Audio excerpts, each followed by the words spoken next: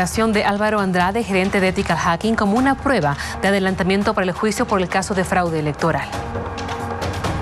¿Puede identificar sala? Eh, sí, la doctora estaba muy molesta con Marcel, insultó bastante y eh, entre las recomendaciones pedía que se corte el el gerente de la empresa auditora Ethical Hacking, Álvaro Andrade, declaró como testigo ante los fiscales que integran la comisión del caso fraude electoral. Se trata de un proceso judicial previo al juicio oral. El gerente de Ethical Hacking informó que nueve días antes de las elecciones generales ya se habían encontrado al menos seis puntos vulnerables del sistema y señaló a la empresa Neotec como responsables de las fallas y alteraciones que sufrieron las elecciones generales.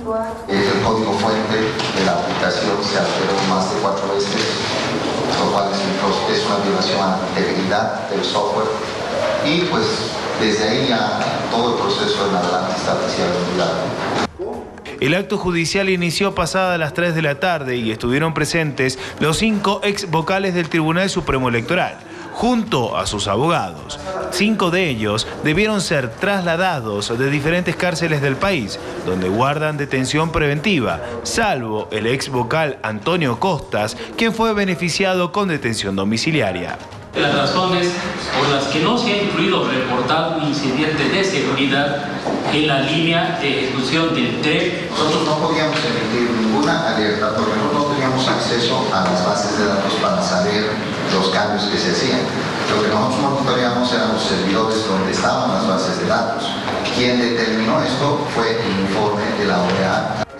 En horas de la mañana, el fiscal asignado al caso, Marco Rodríguez, explicó la importancia y aseguró que sería una pieza clave dentro de la investigación por fraude electoral la declaración del gerente de la empresa auditora que participó de las elecciones y adelantó que esta sería utilizada en un juicio oral en los próximos meses.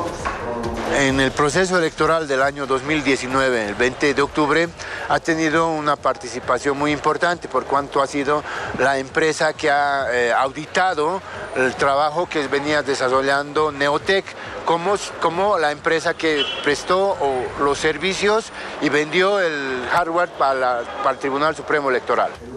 Álvaro Andrade declaró en dos oportunidades ante la Fuerza Especial de Lucha contra el Crimen y el Ministerio Público.